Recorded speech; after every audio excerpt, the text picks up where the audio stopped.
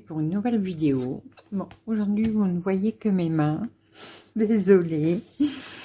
Alors, je voulais vous présenter aujourd'hui le nouveau euh, catalogue euh, de modèles de tricot fil d'art, voilà, que j'ai reçu aujourd'hui. Bon, ça y est. Voilà, Fifi. Et vas-y, je je m'installe. Tu peux bouger? Fifi Tu peux te bouger Allez, hop, hop, hop, hop. Alors, je disais, donc, c'est le nouveau catalogue fil d'art avec euh, les modèles matière noble. Donc, euh, si vous voulez les références, mais je vous les mettrai en barre d'infos, c'est le numéro 204, donc automne-hiver 2021-2022. Euh, Fifi, il faut que tu bouges. Fifi.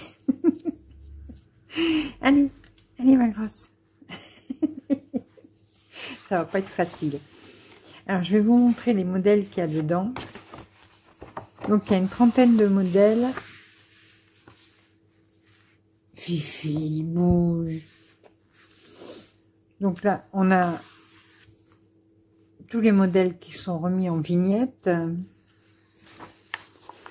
Et voilà.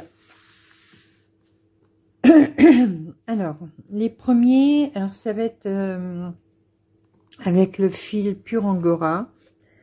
Donc le fil pur Angora, c'est du un fil qui est 100% Angora.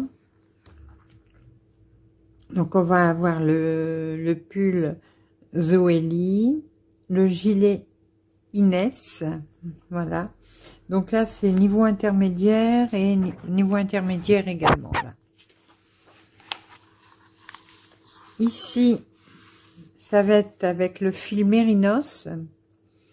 Donc là, c'est un niveau expert. Hein. De toute façon, vous le devinez bien, hein, vu tous les, tous les motifs.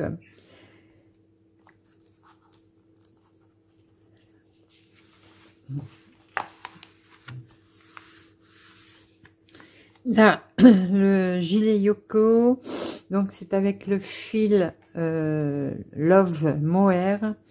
Donc dans ce fil, il y a 70% de mohair et 30% de laine vierge. Voilà.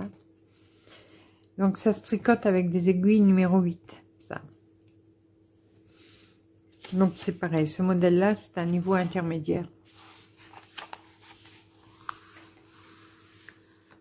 Ici, c'est un modèle fait avec euh, le fil Air Pérou.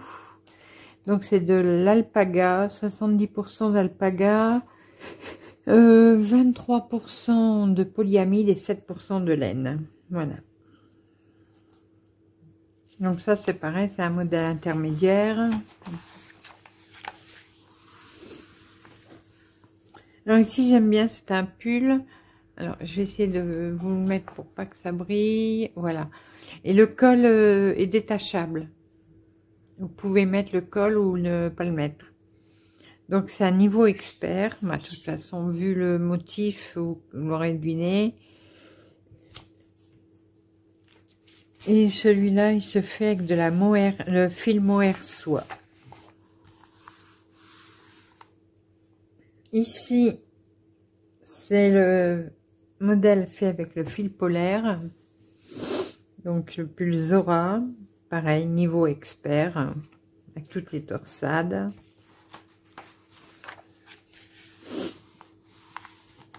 Là, c'est la mohair soit lurex. Alors, là, il y a 70% euh, de super kid mohair, 24% de soie et 4% de polyester dans cette laine. Et vous avez le modèle Zena, le gilet Zena. Donc en niveau expert également.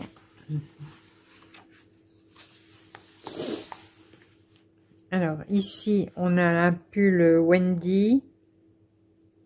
Pareil, intermédiaire, donc avec la laine cachemire.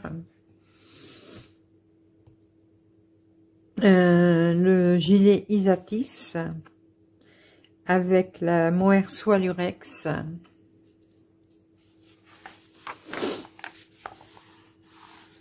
Alors le fil cachemire, donc c'est du 80% laine et 20% de cachemire dedans.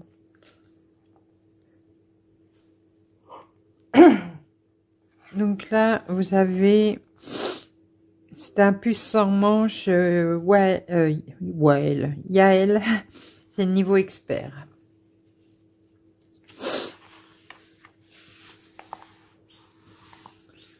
Là, c'est de l'alpaga, fil alpaga 100%. C'est de baby alpaga. Donc, vous avez le, le gilet Win, euh, Vanda, donc niveau intermédiaire. Bon, malgré que je trouve quand même un peu facile. Le pull Zoya, donc niveau expert. Un peu zèbre.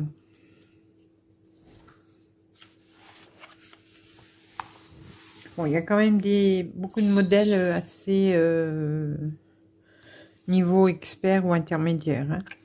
Là, c'est le euh, fait avec le mohair soie lurex, niveau intermédiaire aussi, en coloris noisette. Il est beau le coloris, j'aime bien. hop, comme ça. Là, c'est un cache-cœur. Donc, c'est cache-cœur Yara. C'est avec le fil Air Pérou. Donc, on va le voir après. Niveau intermédiaire. Alors, celui-là, me plaît bien. C'est un peu le style de ce que je suis en train de faire. Fil Glamour.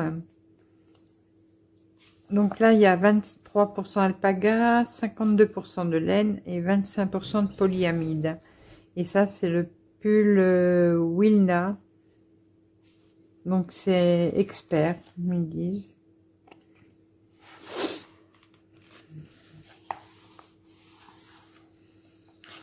Pull Willow, alpaga coton. Je suis désolée, ça brille un peu avec ma lampe. Niveau expert, ben, là, à cause de ça. Hein. Le pull Zelia avec le fil nuage.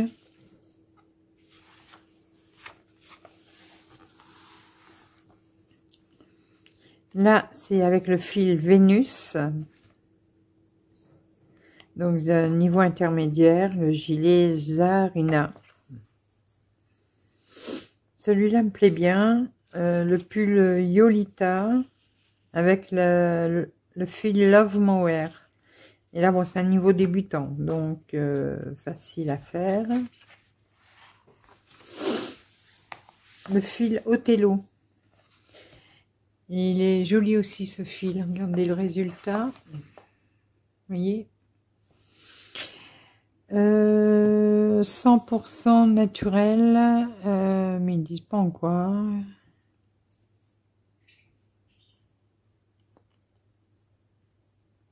Non, ils disent... Ah si, 100% laine mérinos, peigné. Voilà. La mohair soie. Donc la mohair soie, il y a 70% de mohair et 30% de soie. Donc là, c'est un pull intermédiaire, le pull Xana. Je trouve un peu trop court, moi, ces pulls-là. On peut rallonger. Hein. Fil Mérinos, 3,5. Donc c'est du 100% Mérinos, celui-là. Et là, bien sûr, c'est un niveau expert, le pull. Le pull Zina.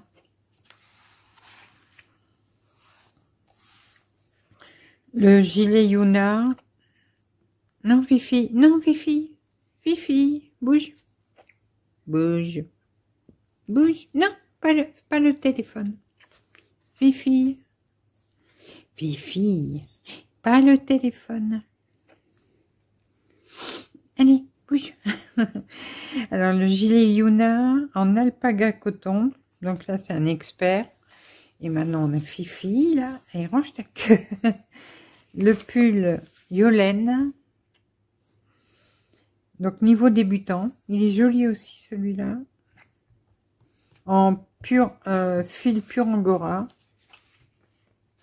J'aime bien aussi. Et je pense que si je voudrais me le faire, il euh, faudrait me faire un, peu, un petit peu plus long.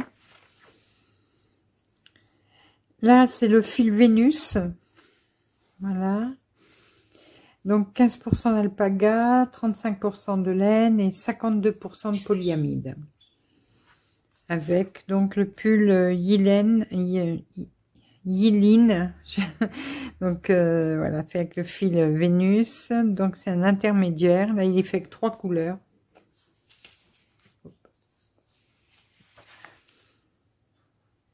Le gilet long Xenia avec le fil R Pérou. Donc c'est un niveau intermédiaire. Celui-là, j'aime bien aussi. C'est un niveau débutant. Il est fait avec le fil Love Mower également. Et il n'y a pas de dos ni de devant. Vous pouvez mettre dans les deux sens. J'aime bien. La fil naturel Loops, fil Mérinos. Donc, je pense qu'elle est deux fils. Oui. Euh, niveau intermédiaire, ça fait un gilet petit blouson. Voyez?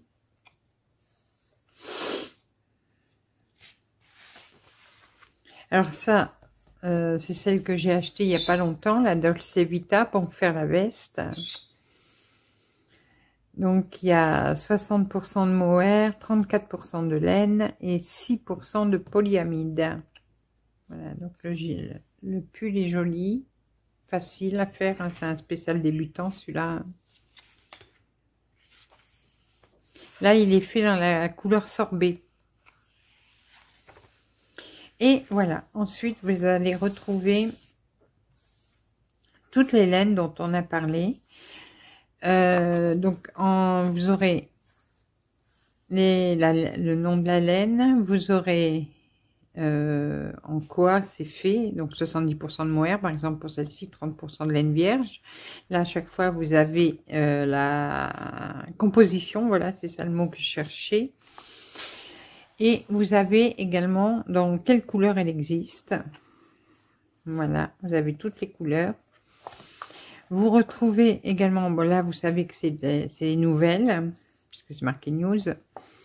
Vous savez en avec quelle aiguille elle se tricote? 8, 8, 4, 6, voilà. Euh, qu'est-ce qu'il y a d'autre comme référent quand... Là, il y a le Décotex, par exemple. Euh, là, il y a alpaga, ouais, donc ils ont mis le petit, euh, le petit alpaga, la petite bête. Voilà, donc quand il y a de l'alpaga, à chaque fois vous avez le la petite bestiole. voilà. Donc fil alpaga, fil alpaga coton, Dolce Vita, laine cachemire, Air Pérou, Vénus, Love Mohair, Glamour, la Mérinos, la Mohair Soie, etc., etc. Donc vous les retrouvez tous euh, référencés et vous retrouvez toutes les couleurs dans lesquelles vous pouvez euh, les retrouver. Ensuite, ici, on a tous les noms des fils. Euh, alors, je crois que c'est tous les fils qui existent chez Fil d'Art. Et là, vous savez pour quelle saison euh, c'est. Donc, si c'est en rouge, c'est automne-hiver. Si c'est en bleu, c'est printemps-été. Voilà, donc vous savez à quoi correspond euh, les laines. Là, vous savez euh, comment faire les échantillons pour chaque laine. Vous avez les numéros d'aiguille, pour pareil, pour chaque laine. Et là, vous avez le nombre de mètres qu'il y a dans, dans les pelotes. Voilà, donc là, vous avez tous les renseignements que vous avez besoin dans les pelotes. Ensuite, on retrouve dans le catalogue euh, comment faire l'échantillon. Euh, vérifier sa taille. Voilà. Et ici, un sommaire des explications. En même temps, les abréviations pour vous savoir à quoi ça correspond. Là, il y a un petit mètre, hein, mais bon, il ne sert pas grand-chose, lui, là où il est. Euh, donc là, c'est tous les tous les modèles qu'on vient de voir. Donc, il y a des cache-cœurs, les gilets, les ponchos, les pulls. Donc, ça vous dit si c'est intermédiaire, expert ou euh, débutant. Et on arrive donc aux explications. Alors, moi, j'ai trouvé assez clair hein, chez Fildar. Euh, parce qu'ils utilisent plusieurs couleurs pour euh, chaque taille. Voilà. Même au niveau du, du patron, hein, ils utilisent euh, une couleur par taille également. Et la couleur, vous la retrouvez ici. Hein. Je ne sais pas si vous la voyez. Alors, attendez. Vous voyez, là, alors, 34, 36, c'est rose. 42, 44, c'est orange. 50, 52, c'est bleu. Voilà. Et donc, vous retrouvez les couleurs ici. Dans les explications. Vous avez les diagrammes pour les... Voilà. Les diagrammes pour les motifs sont assez clairs aussi, je trouve. Voilà, voyez.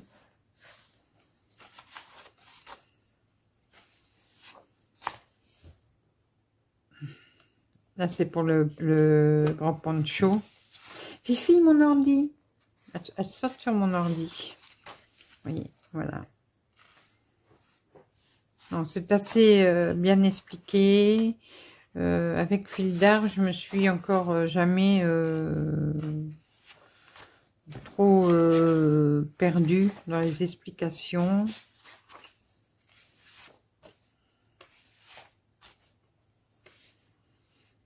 Là, c'est pareil, hein, pour le pull un peu zèbre, vous, suivez la grille pour faire votre jacquard. Voilà.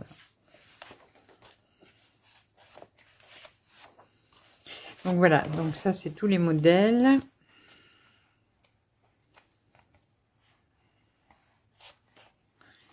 Alors, j'arrive au bout, oui. Ici, au bout, des explications pour les coutures, pour les assemblages. Donc, euh, grafting sur lisière. Euh, la couture au point arrière, la couture invisible, comment coudre l'encolure, voilà. Donc c'est vrai que si vous êtes débutant, il y a quand même pas mal d'explications. Hein. Le B à bas du tricot, donc euh, pour comment monter ses mailles, le, la maille à l'endroit, la maille à l'envers, le jersey endroit, le jersey envers. Euh, comment tricoter deux mailles ensemble, trois mailles ensemble, le surjet simple, le surjet double, le jeté, voilà. Vous avez quand même beaucoup, beaucoup d'explications. La maille double, la confection des boutonnières,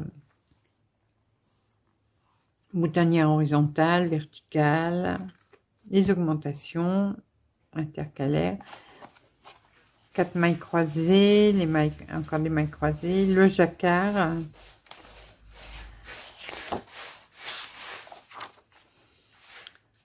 le jacquard à fil tiré pour relever, les mailles, les mailles serrées au crochet ici. Là, il y a une petite explication pour tricoter en rond. Et ici, la broderie quand on a besoin de broder sur un pull. Donc, ils expliquent comment on fait. Comment on fait pour mettre des mailles en attente, pour rentrer les fils quand vous avez terminé, et comment on fait pour changer de pelote. Voilà. Bon, et puis là, c'est toutes les références euh, pour fil d'art. Voilà. Bah écoutez, moi je pense que ce livre, euh, ce nouveau livre est, vraiment pas mal. Bon, il y a quand même euh, beaucoup de modèles un peu intermédiaires, mais que, qui peuvent être faisables en pour certains. Bon, là où il y a des trous-trous, vous le savez, moi, je ne ferai pas. que je ne sais toujours pas faire les trous, hein, mais bon. Mais par exemple, ce genre-là, euh, ici, euh, il y a, bon, il n'y a pas de souci, hein, voilà. Ça, c'est ils disent que c'est un intermédiaire, mais bon, je vois pas euh, où c'est compliqué. Voilà. Donc là, oui, d'accord. Là, il y a du taf. là, on a intérêt à bien compter et bien écrire. Euh, et puis là, de toute façon, il y a des trous dans les, dans les, dans les, dans les fleurs. Donc voilà. J'espère que ça vous a plu. N'hésitez pas à me dire ce que vous en avez pensé en barre d'infos. si vous l'avez aussi, dites-moi ce que vous en pensez. Et on se retrouve très rapidement pour de nouvelles vidéos, nouvelles aventures et plein de belles choses comme d'habitude. Et dites-moi si ça vous plaît quand je vous présente euh, les livres de, de tricot comme ça. Voilà, comme ça je saurai si par la suite je peux continuer à vous en présenter. À bientôt, bisous bisous